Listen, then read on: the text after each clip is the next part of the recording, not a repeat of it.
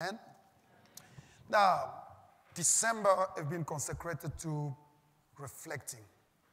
You know, I'll have personally the days running to Christmas because we change gears. We are not into uh, every song is good as long as it praises God, but some of them are very uh, complicated because the beat is fast, uh, the volume is high.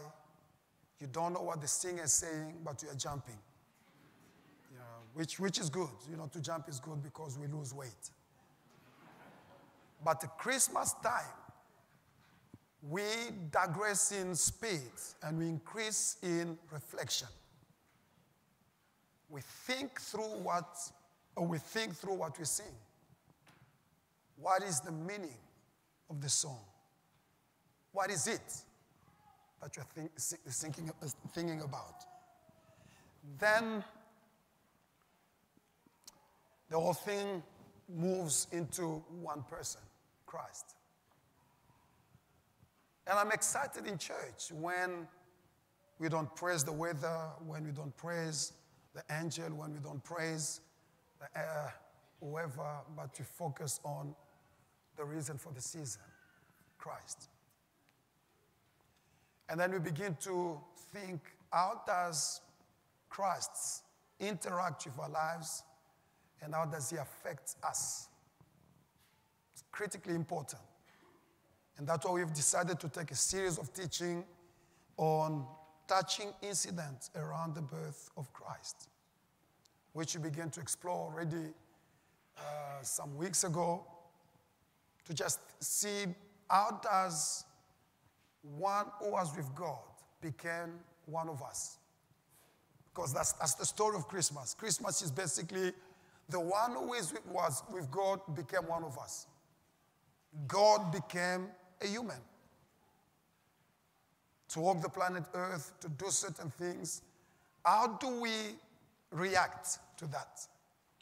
So, the first thing we learn, which is critically important, that every time heaven invades earth, there's a huge disruption that brings unexpected complications. That was the story of Joseph. Joseph is in love with a young girl. They've gone all the way, spoken privately, spoken as family, paid something toward it, and then all is waiting is the consummation of the marriage covenant when the unthinkable happens. The fiance who claimed to be a virgin is pregnant. How do you explain the pregnancy when you know no man? Every time you call yourself a Christian, there will become a time in your life where unexpected complications will come. How would you react? Is the story of Christmas. Well, there are many ways. You can go by the letter of the law. This is how life works, this is how react, this is how do things. Or you can choose something better the law of love. Let me listen to love more than logic.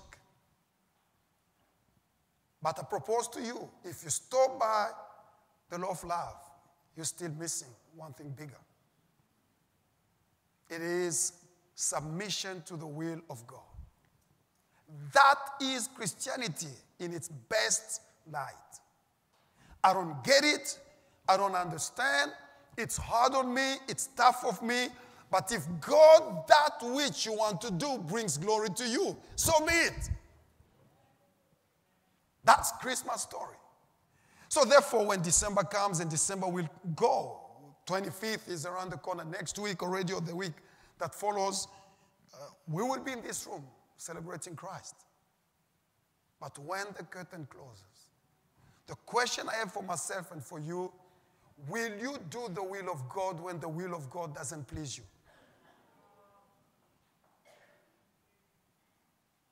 Will you submit to the will of God when the will of God goes contrary to your own advantage? How about if the will of God inconveniences you? Will you still say, Not my will, your will be done?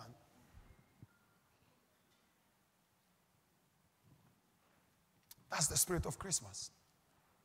Christmas has nothing to do with this beautiful stuff. I love them a lot.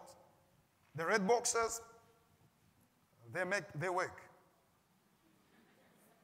The snowy white, they work better, even if it's summer. Everything on a stage is so staged that the glittering light, everything around is telling you Christmas, chicken, chicken, chicken, meat, chicken. Let's go and party. Swim even if we cannot swim. Yes, but the spirit of Christmas is submission to the will of God, regardless of the price and inconvenience. Somebody give him praise. Come on, somebody give him praise in the highest place.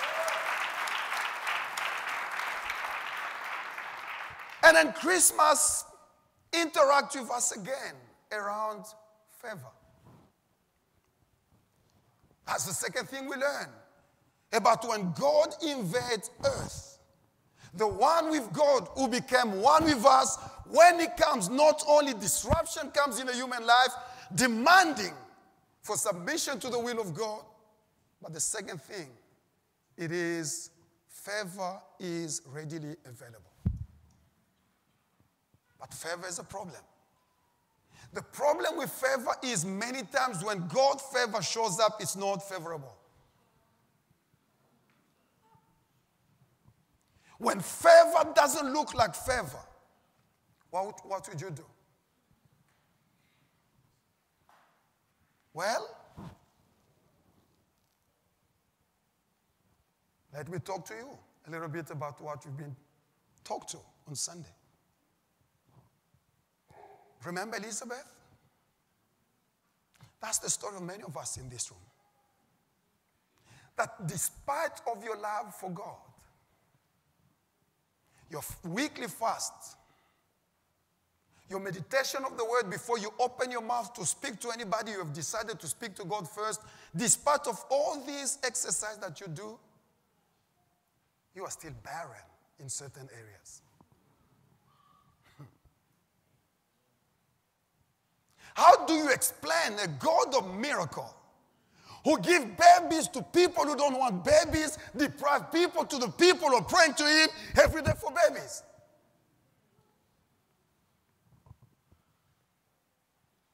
But you see again, when God speaks to us at the level of God, we have to crank up our Christianity to go to that level, otherwise, we miss it. Because we heard God is not in a selfie, God is in a movie. Huh? Can I have some amen in the church? Because when you see the life of Elizabeth in year one, year two, year three, or four, or ten of marriage, you will go with a conclusion that God cannot give babies. But the Bible says, He who was said to be a barren had a child in old age. As long as I haven't breathed my last, my story is not finished yet. Come on, give somebody, somebody give him praise in the highest place. Hallelujah. Miracles can still happen before the very last day of my life because that's the nature of favor.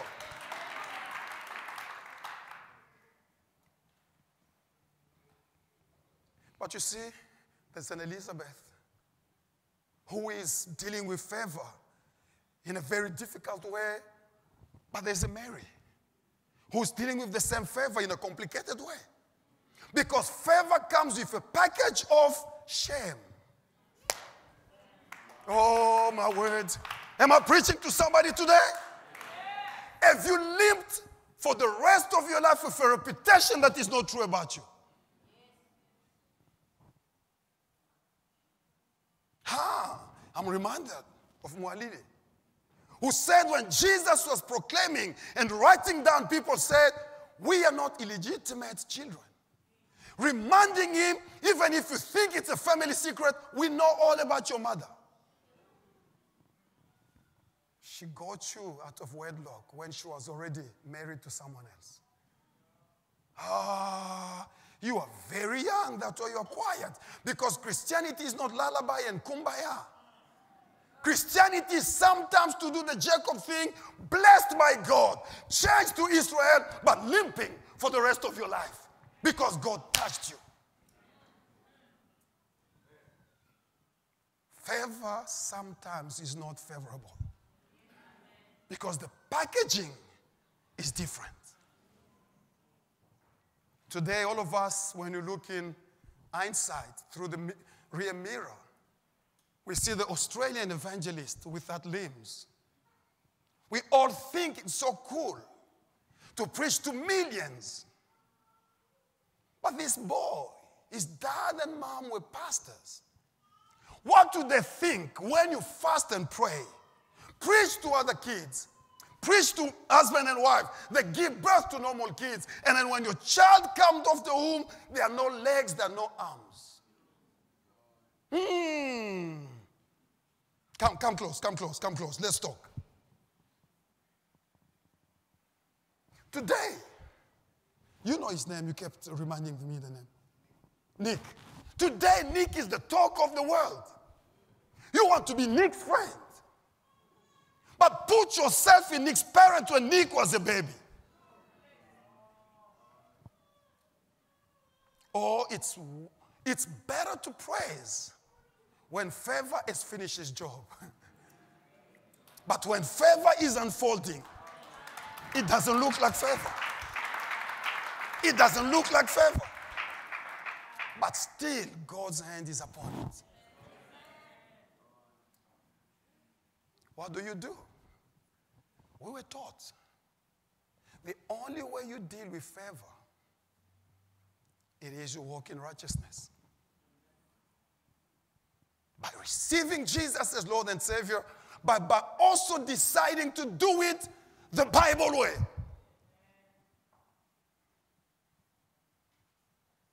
That's the spirit of Christmas. Christmas calls us to submit to the will of God. But Christmas calls us as well to live lives as God have designed life to be lived. When you do it, you have celebrated Christmas. But today I want to take you to another journey. Probably a most important about touching incident. It is God's work. When God is doing stuff, because that's the reason why the Bible is the Bible. We come to church, we open this book. The reason we open the book of the Bible is because God is busy doing something every single day.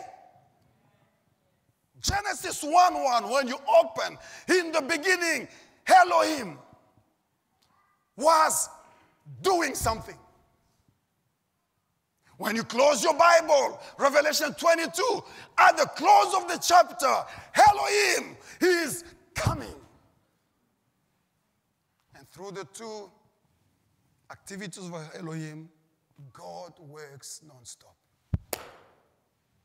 That the question I'm asking you, the question I've been asking myself through Christmas, why is God busy doing something all the time?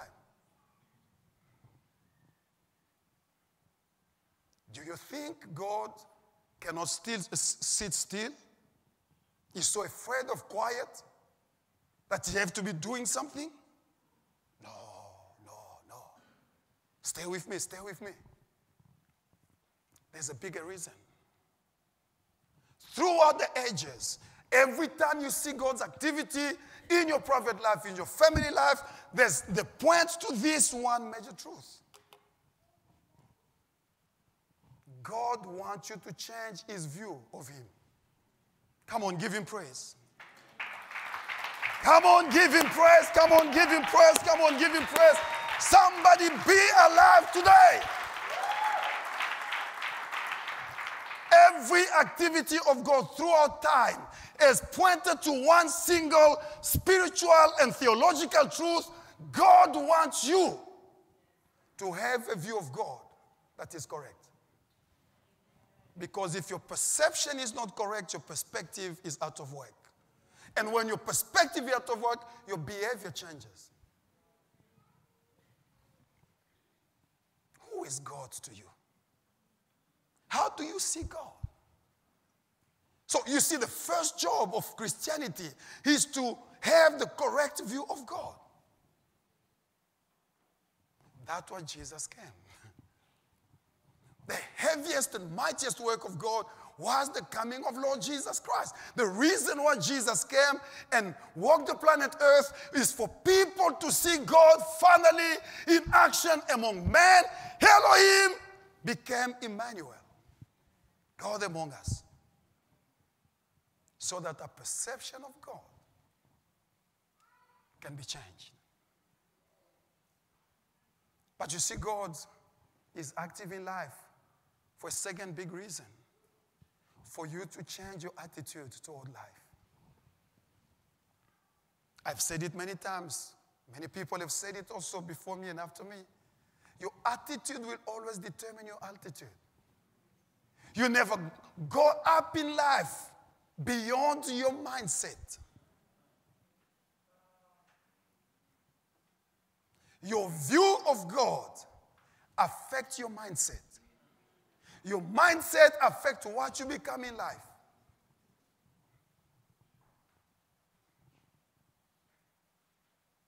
But three, the reason why God activity is throughout time is to solicit a response from you. That's Christianity. Listen, listen to me, friends. If Christianity is only philosophical debate, we are not different from the devil. Oh, let me try. I, I will have a Christian on this side. If our Christianity is based on philosophical debate, you are not better than the devil. Because the devil can theorize stuff about God. James says he believes that God is but he cannot practice the ways of God. Therefore, crying in church doesn't make it anymore. Falling on the floor is not good enough. And Christians are good at crying. The question is many times we don't know why you're crying could be a reason totally disconnected to worship.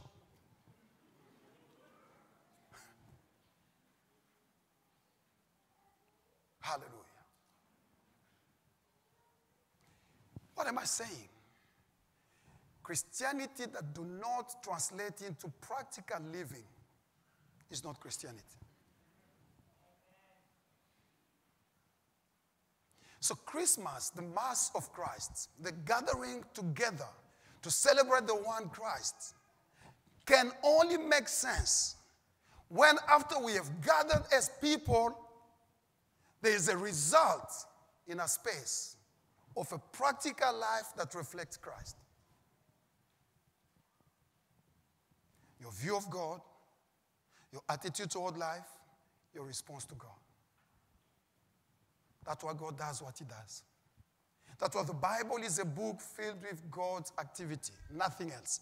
The theory of God talking is very, very minimal. Many times it's just God does, God does, God does, God did, God will do, God does. The reason God is in the business of doing it for you to begin to see God and read God differently, it for you to begin to change your mindset, it for you to begin to respond to God in a certain way.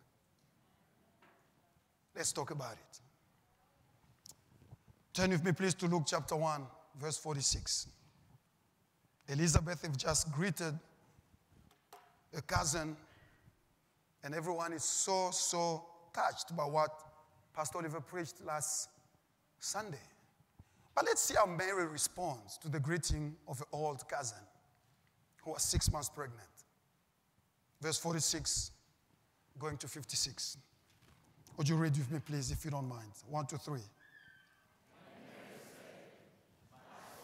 No, no, no, no, no, no, no, no, no, no. You are not, you are not, you are not fair. The early service had less people and they read very well. And the second service, you have slept longer with more people. You should do better. Let's try and read in English and read it loud. One, two, three.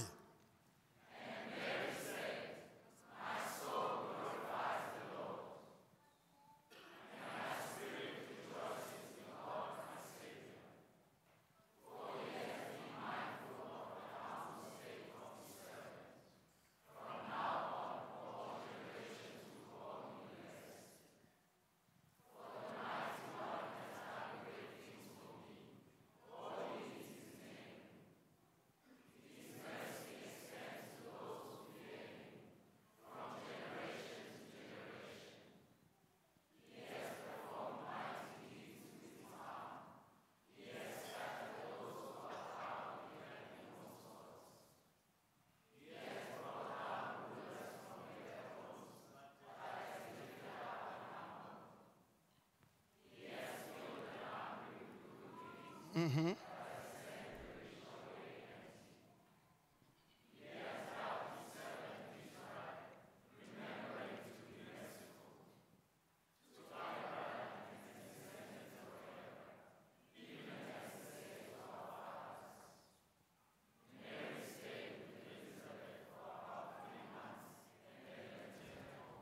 Thank you for reading. What a story.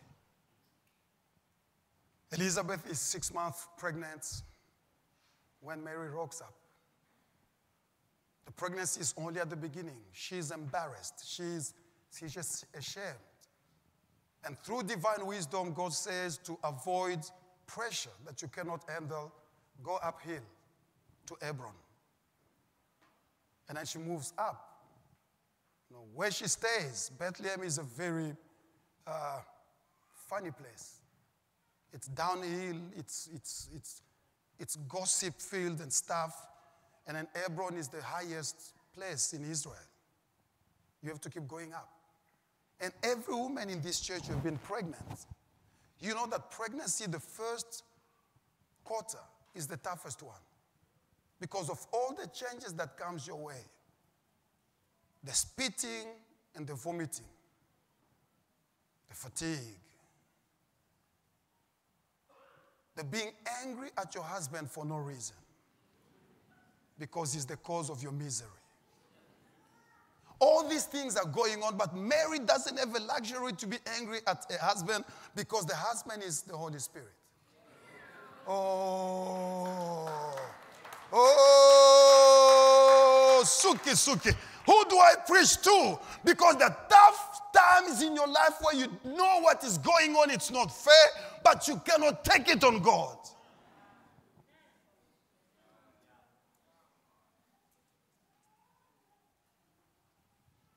She goes up, and as she reaches Elizabeth's home, Elizabeth greets. That's last Sunday preaching.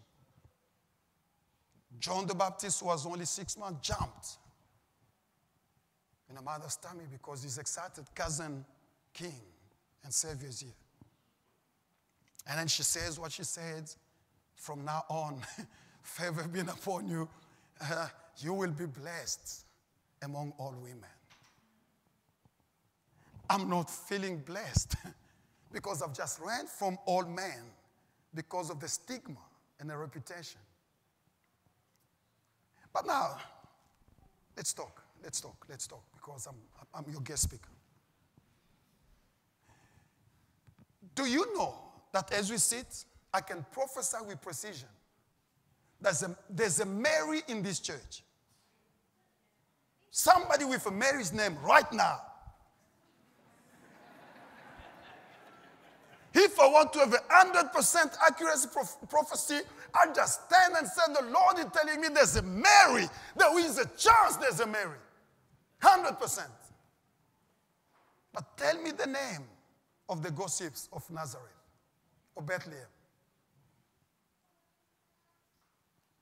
Herod was in power. What's Herod's wife's name? Who has ever given to his child Herod's wife's name? She is blessed. Tell your neighbor, don't take a selfie. There's a movie unfolding. Come on, if you believe in your movie, come on, give him praise. Come on, give him praise. When the Lord tells you you are blessed, you are blessed.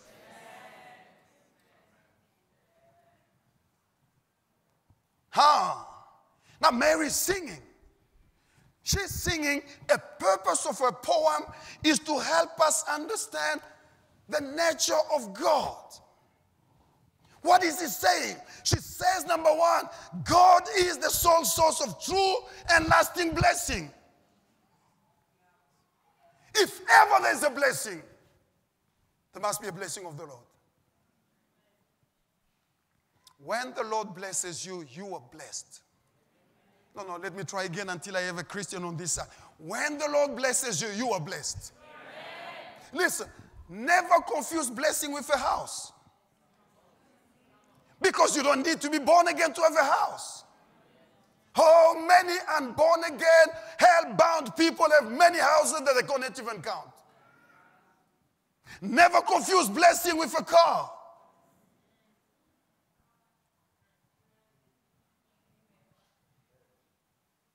Mary said, I'm blessed.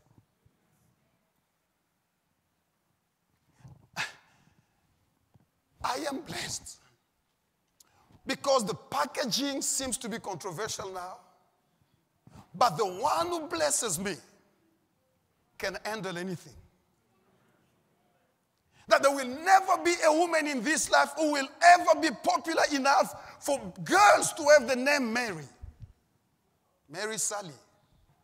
Mary John, Mary whoever thing it is.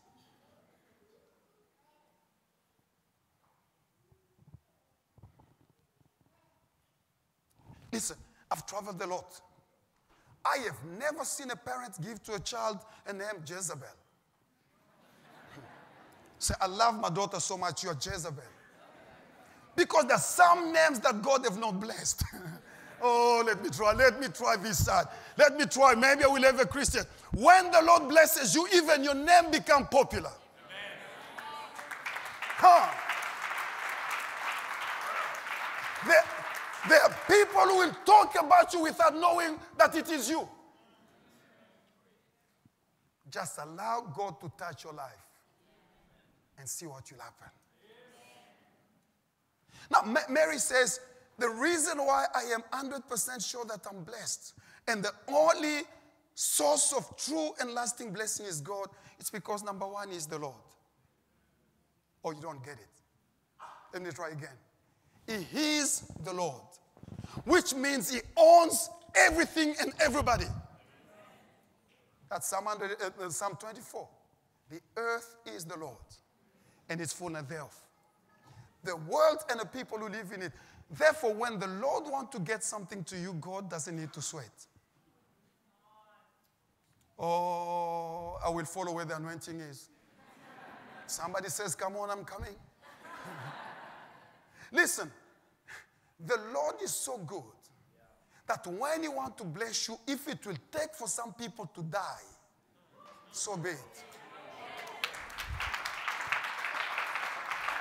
Now, you don't get it. You don't get how the Lord works. There are some children who will never suffer. All it takes is for, for God to take home the parents. This come Sanye. Your dad said after his death, it's yours. All you need is to sign. Don't kill me now.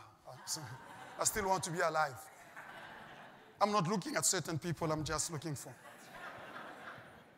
Because when the Lord blesses you, He makes other people work to prepare for you to inherit. It might not be now yours, but it's still yours. and the, the, the, converse is true. When the Lord curses you, He makes people have gone before you to get into debt so that when you, they die, you begin to pay for them. Oh, the church is quiet. The church is quiet. Somebody say amen for me to keep preaching. It's abnormal for parents to die and the children to begin to worry how to pay off debt.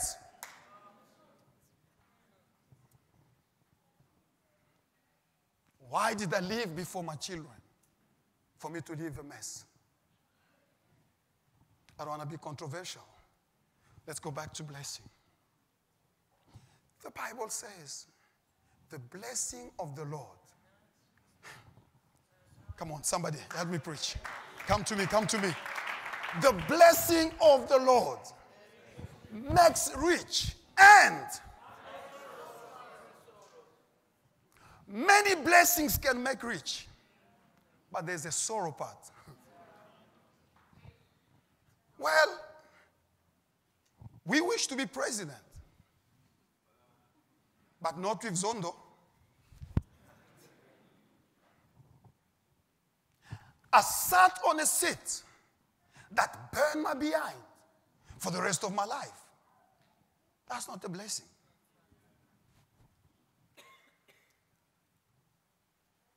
The bigger the house, the bigger the trouble.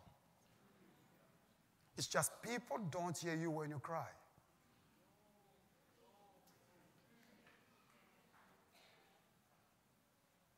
I think we should return the American Indian behavior. Back in the day, whoever want to be a chief, they say we don't have an issue with being a chief at one condition. You have to sit on hot coals. You are our chief, but you have to burn your behind. You sit and you burn, you rule. You want to go for the second term? Sit again. In the Indian tribe, nobody ran for two. because they knew by the time I finished my third term, there will be nothing to sit on. Oh, come on, somebody give him praise. Somebody give him praise. But when the Lord blesses you, there's no sorrow. I maintain it. You know, I'm not bragging, but I'm bragging. For you as parents to go with children, to reach this age when they have their own children, and to be problem free, no jail time.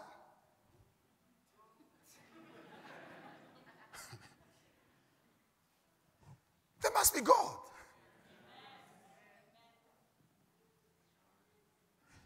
to walk them up here and collect a trophy of a husband and wife? Man, that's the blessing of the Lord. For them to go home to wherever they are without them following you all the time. Dad, can you send me because you're running out of nappies? My word, that's a blessing. Our money now is our.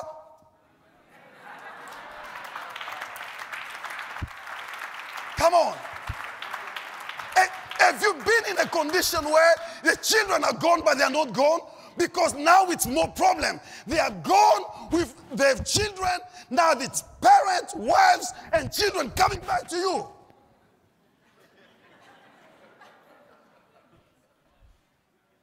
There are many ways God blesses you. There are many ways God blesses you.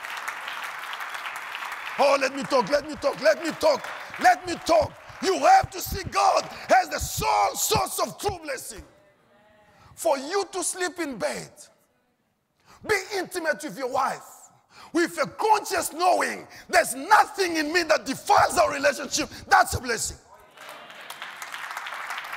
That's a blessing.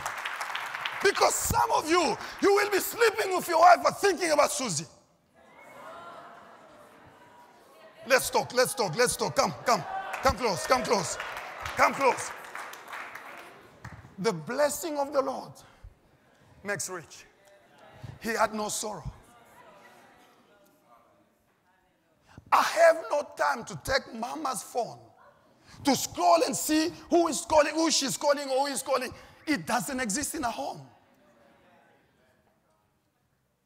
Not because you are angels, but because the Lord puts his hand on us. Listen, listen. For people who think I grew up in church, you are mistaken. I was a gang guy, a drug addicted, an alcoholist, a womanizer all the time in nightclubs.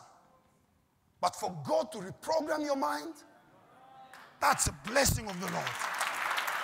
That's a blessing of the Lord. That's a blessing of the Lord. That's the blessing of the Lord that makes rich, had no sorrow to it. I grew up in a family where sorcerers were eating people. I have never been eaten. It's a blessing of the Lord. I can write, walk into the homes, eat food, drink even the remain of the sauce. I'm fine because I'm unbewitchable. Come Come on. Come on. The blessing of the Lord makes rich. Mary, Mary singing. Mary, she's a teenager. There's hope for you grown ups. If a teenager can get it, you can get it too. That don't live all your life trying to chase after blessing. Hold on to God. Hold on to God. Hold on to God because God is the real blesser. To have you as a family, it's a blessing of the Lord. I can pick up a phone until we leave a home at midnight, one o'clock, because daddy needs me. I can stand and say, hey, gang, the house is burning down. Do something. You will go and empty your bank account to save the day. What a family. The blessing of the Lord. The blessing of the Lord. The blessing of the Lord. The blessing of the Lord. This young man came to my house, fixed the old gate for free, paid his own money. The gate I went to check, it was going to cost me in excess of 20,000 and plus. He did it for free. Why? When the Lord blesses you, son paid the price. Come on, come on, come on, come. Come to me, come to me, come to me. Let's keep talking. Let's keep talking. If you don't honor God, that when Jesus came, real blessing showed up. You haven't understood Christianity. Don't chase after the next shoe. They always lose the glow. Remember when you brought the green ones? You thought you've arrived until they lost the spark. Now, the new suit that you bought on Black Friday is pushing you to combine with the blue shoes. Green doesn't work anymore because nothing of this world works forever. Oh, let me talk, let me talk, let me talk, let me talk, let me talk. The blessing of the Lord, let me talk.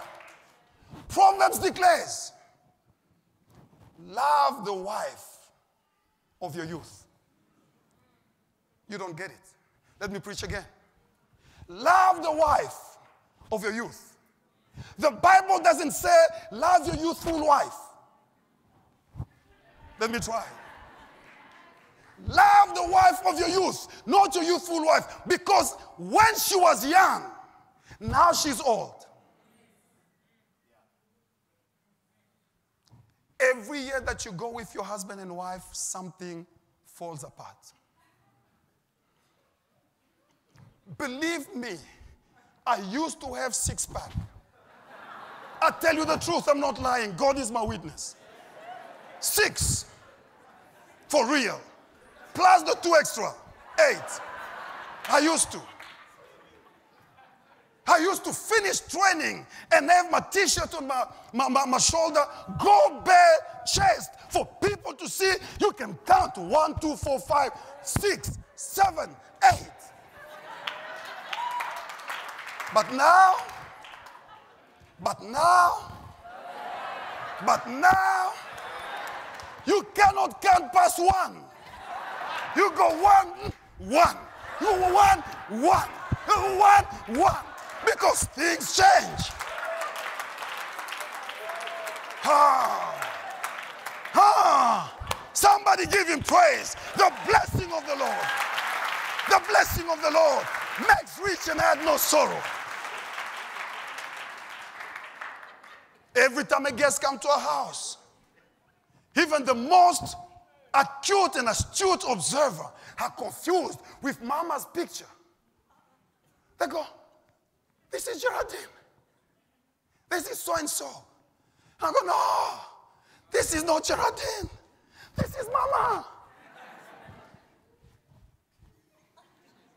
Because the Lord says, fall in love with your wife of your youth.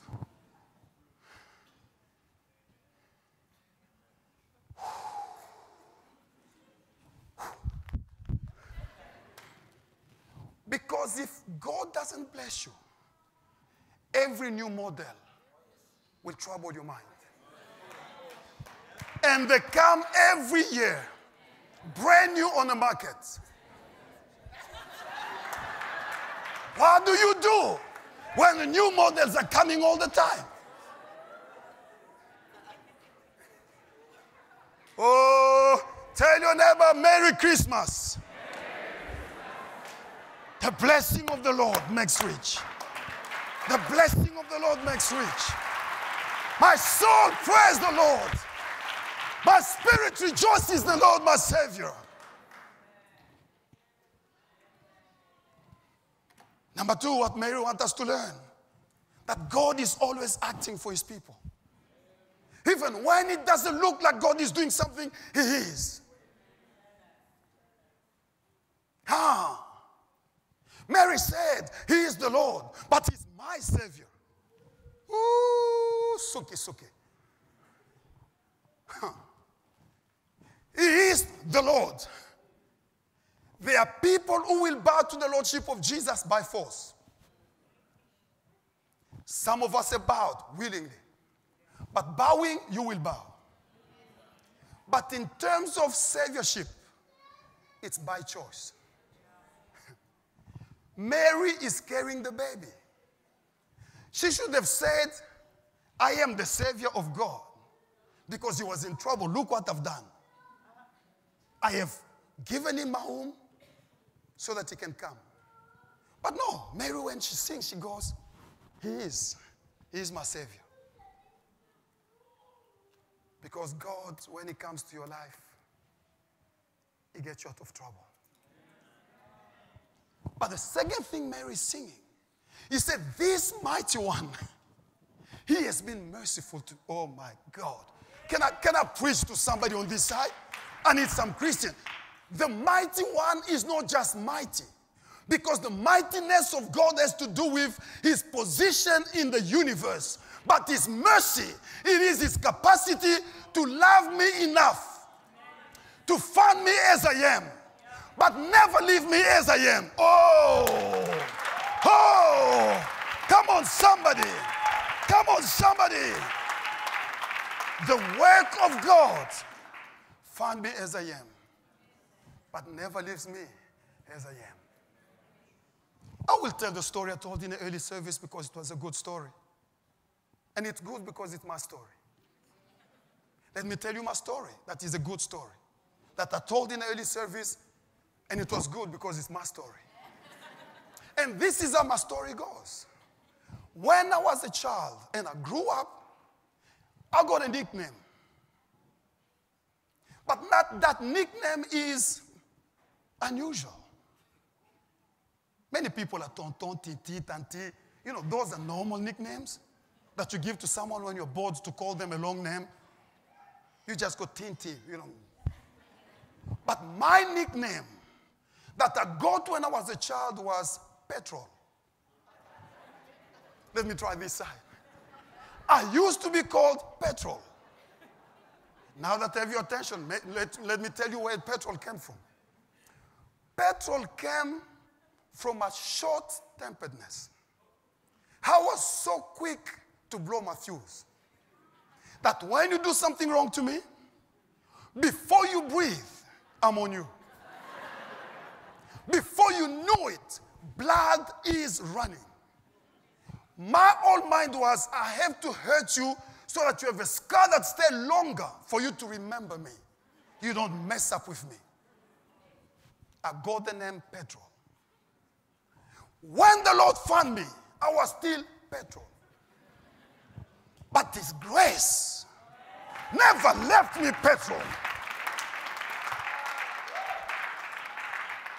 God took me and made me a cucumber. Cool, calm, collected.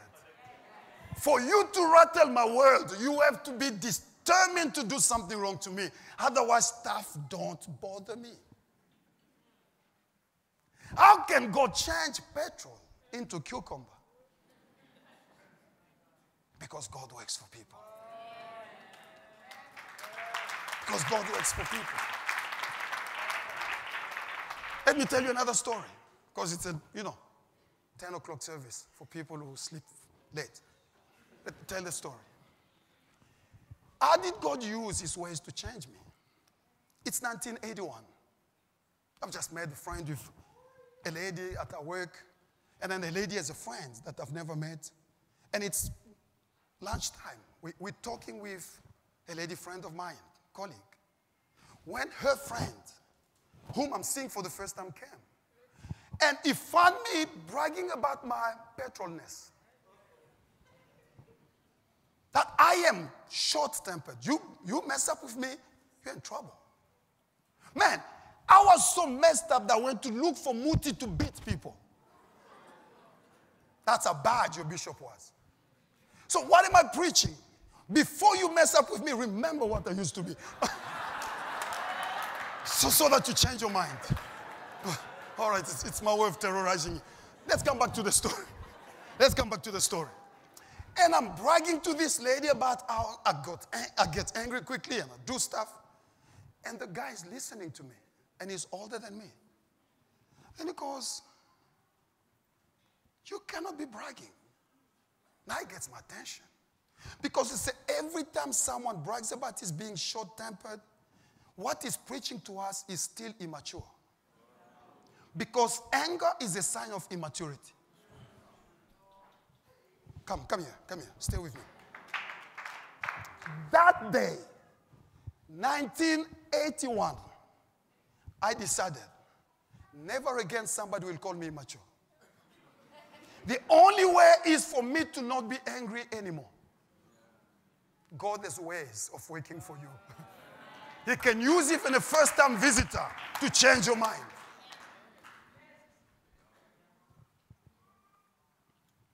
Mary goes, This grace, it found us as we are, but it never leaves us as we are. It changes us. If there's a church that understands the grace of God, it's Ramah. 24 nations in one church. We don't board, we don't worry about who's who. We are just brothers and sisters, hugging and kissing. For some of you, kiss is the first shock because you've never been kissed. And then there comes someone in Congo, Brazzaville, or Cameroon and go, mwah, mwah. You go, whoa.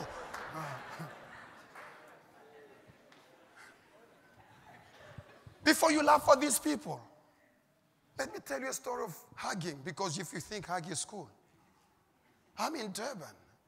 Nobody have ever got hugged me before. And I went to a white church.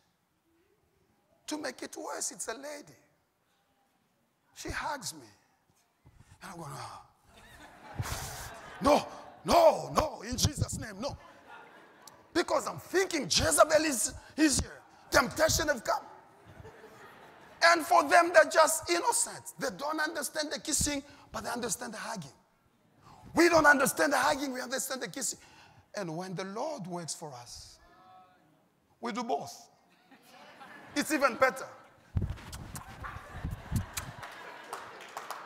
Hallelujah. Come on, give him praise. Come on, give him praise. Come on, give him praise. Mary goes on.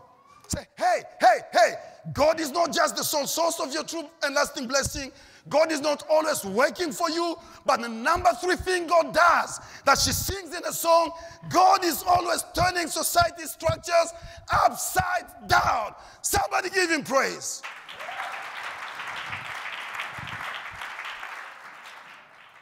Meaning what? Your future is not set in stone.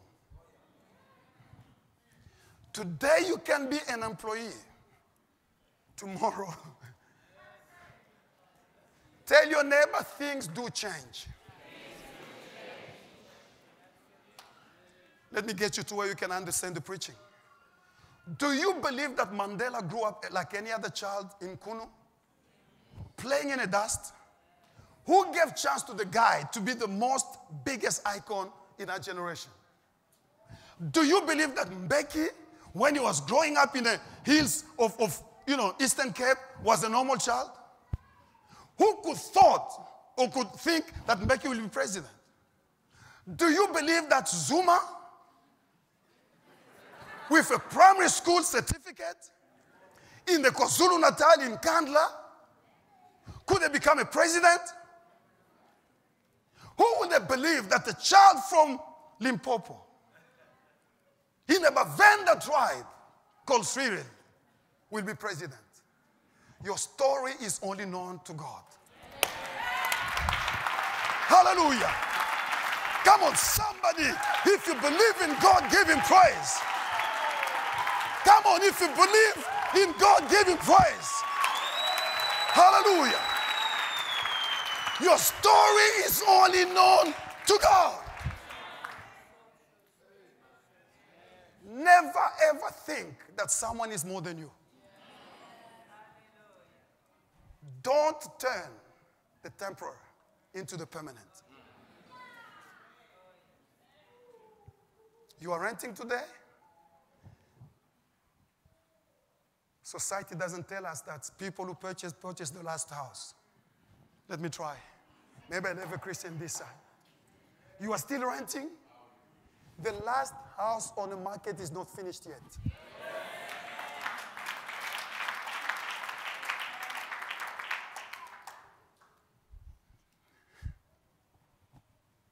Geraldine is doing a matric. Every parent with grown the child to a level of matric, and especially if it's your first daughter, it's emotional.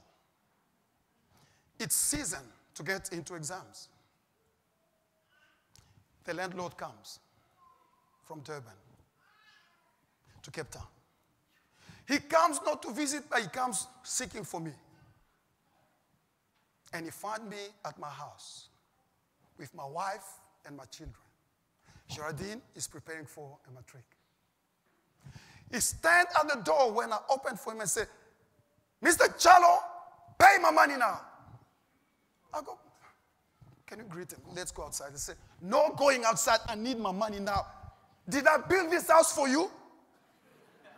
Now my wife is listening. My kids are listening. You don't know how to tell the guy for the sake of my dignity because you have no dignity. I did what no man should do in the presence of his wife and children. I went to my knees to beg the landlord to not kick me out of the house until my daughter finished her matric. She goes, You are out. And he banged the door.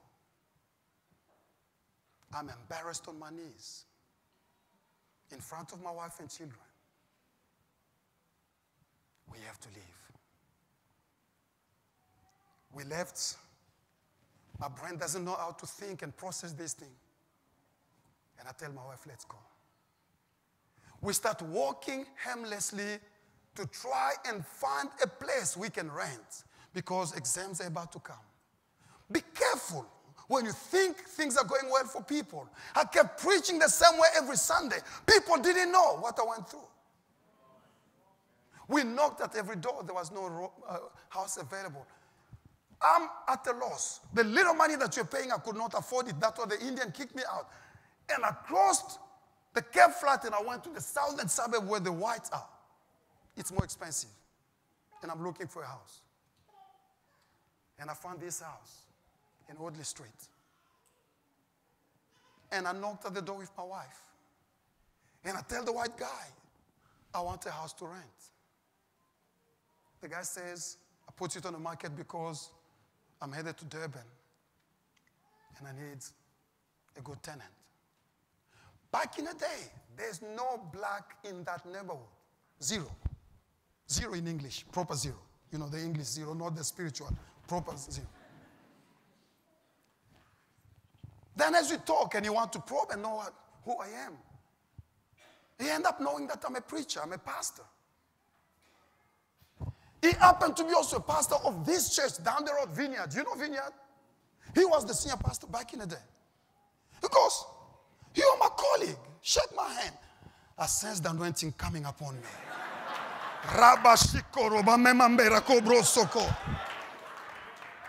Then he goes, you know, because you're a man of God, a man of God, we don't need to go through, you know, via, uh, you know, state agent. We can just sign the contract. Pay me. I found the rent money today, this morning at 4 o'clock. We were paying 5,800 rand in that suburb. We moved in. God could not pay 2,000. But now God is paying 5,000. Maybe the Lord knows you don't mess up with white. I don't know. He start paying. And he start paying regularly. Huh? And then the guy, out of the blue, six months down the road, he calls me from Durban.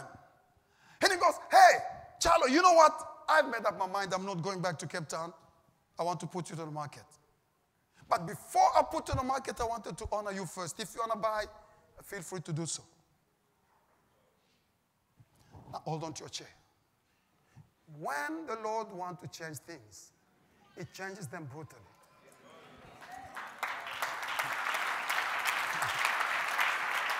Oh, Rabbe Shindoroboskaya. They put the house on the market with the money we didn't have, but we had God. As you are thinking through how to go about get the money, two brothers from the same family came at different time to give us enough money to buy the house.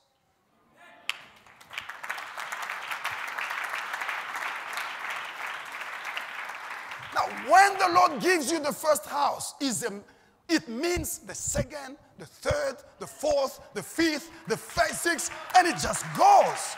Huh? I used to rent. Now they're renting. Because tell your neighbor, hey, my condition will change. Come on, give him praise. Come on, we'll give him praise. Come on, we'll give him praise. A village girl. Now her name is blessed. Everybody knows Mary. But number four, Mary sings in the fourth and last stro- strophe of a song that God is consistently faithful to his covenantal promises. That when the Lord tells you he will do something, is as good as done. Hello? When darkness comes, the song told us, don't forget what the Lord told you when there was no darkness. Every Christian life is based on one truth God said it. We are praying and preaching in what God said. There was a time we didn't know if the church will survive because we needed copper money, two cents and five cents, to pay rent. Here we are. In what God said? There were church plantings with 44 congregations spread around the world. You were sitting here. Did the Almighty God told you anything about your future? Trust me it will come to pass. It will come to pass. It will come to pass. Time will not permit us. We were living in a tiny little house, windowless, when the Lord spoke to me for the first time. I remember that day as the glory of God came as a ball of fire in that room. 8 p.m. For some reason, my wife is sleeping early that day. God comes, she doesn't know that God have entered the room physically. That's the first time I'm knocked on the floor.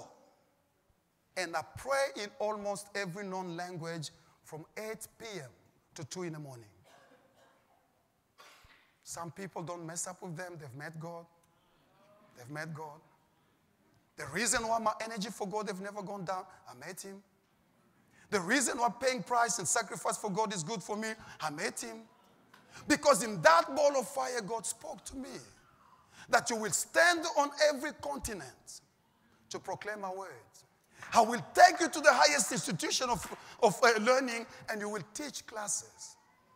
And I'm looking at the windowless small rooms. Four decades almost later, I stood on every continent to preach the gospel. I entered into the Ivy universities to talk because when God said it's as good as done, did God tell you anything about your life? Be okay with it. But you can go through it limping. We have collected names magician, sorcerer, all this. It's part of the package. Jacob became Israel, but he limped until he died. Mary became the mother of Jesus. The stigma is still on her to this day.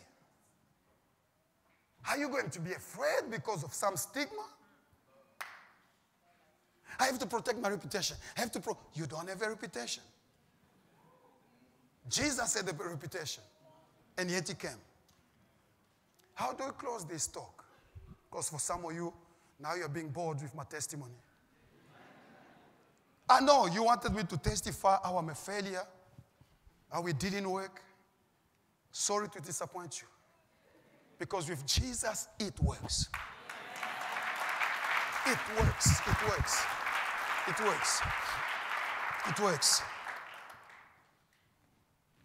What is the attitude that Mary is displaying and want us to display? One, if you know that it is the Lord who's doing all the stuff for you, be humble.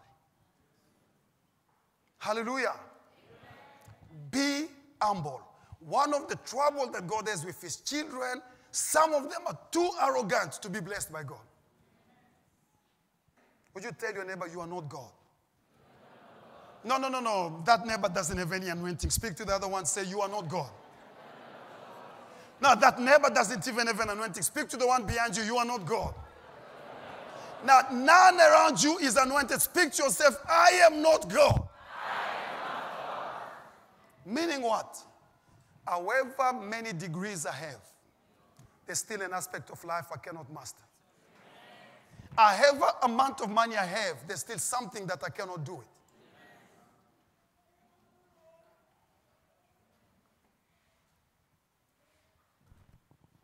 Humility is the mark of people God is going to bless a lot. And pride is a sure statement that this person will never go far. Number two, your attitude should be of gratitude. Be thankful. All I do in my life in telling my story is just to say, He helped me. And I'm happy and grateful that God helped me.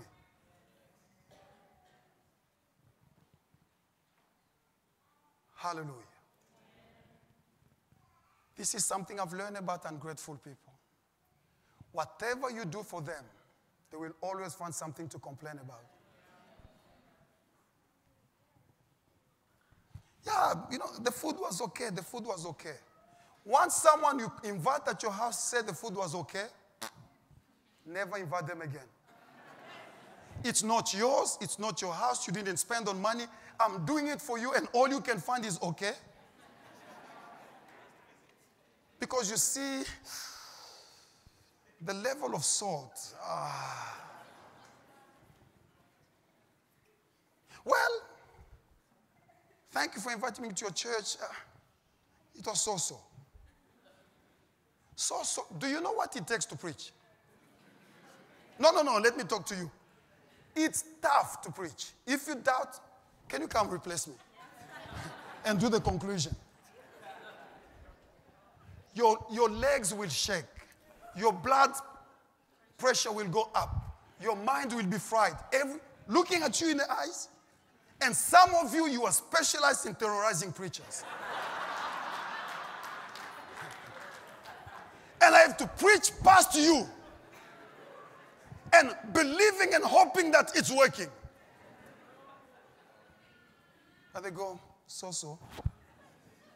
Because an ungrateful person, even when you change their nappies, they will still find something to complain about.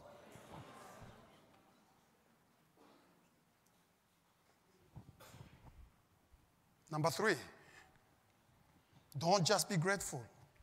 Mary said the third attitude, you have to have renewed hope.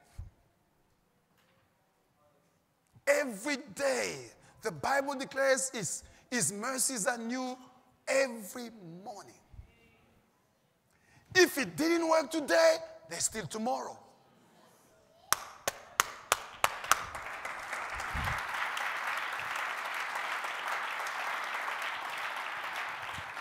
If you didn't graduate in December, there's 2020.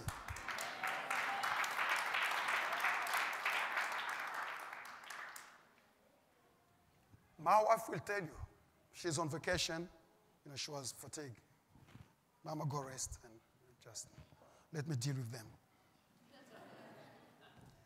My wife will tell you one of the biggest blessings she got by marrying me. She got a guy who is full of hope. Regardless of what we face as a, as a couple, I will repeat to her, let's sleep.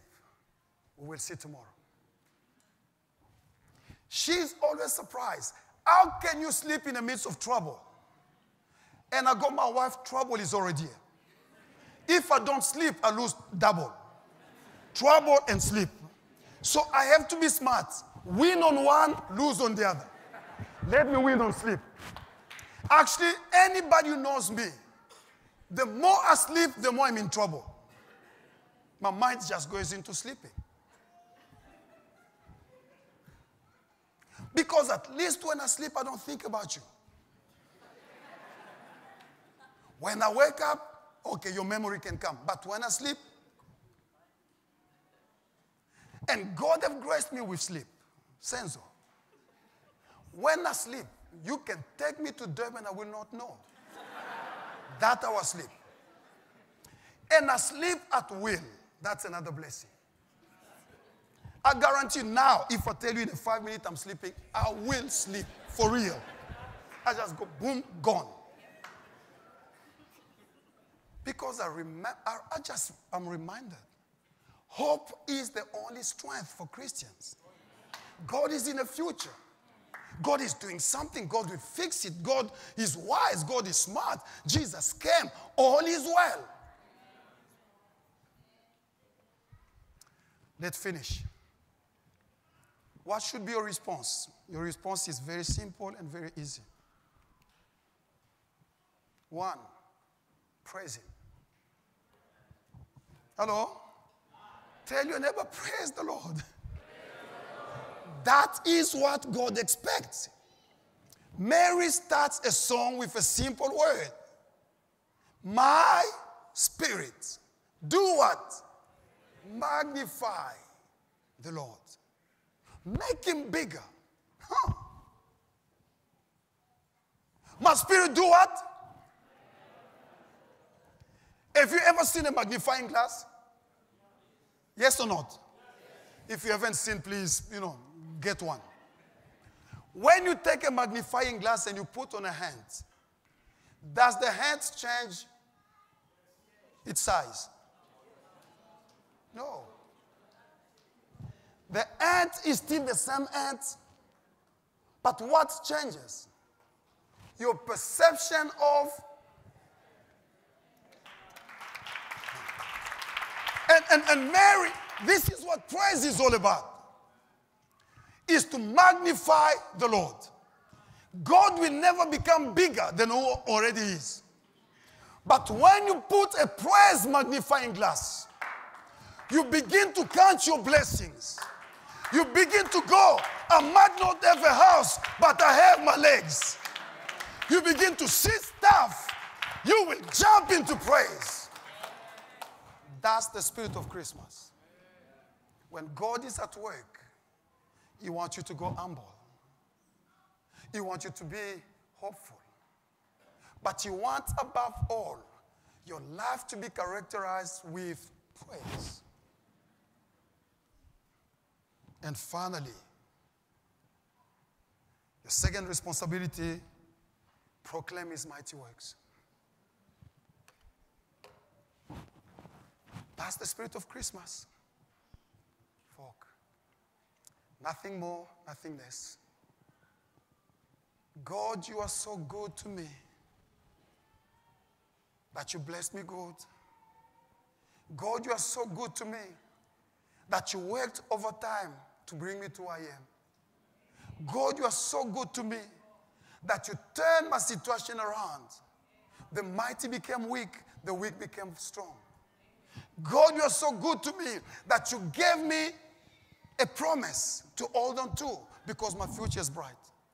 Because it's your doing, I have nothing I've done to deserve it. I can only be humble. But I will not stop at my attitude. I have decided whenever I go to church, whenever I'm in my room, whenever I am somewhere there, my mouth will praise you. I will make you big in my head. But two, I'll tell someone that you've been good to me. Churches don't grow because Christians don't tell that God has been good to them. When last did you tell someone about the goodness of God? And why did you tell? Would you close your eyes and bow your head as you sing, Your grace has found me just as I am? Empty handed but alive in your hands.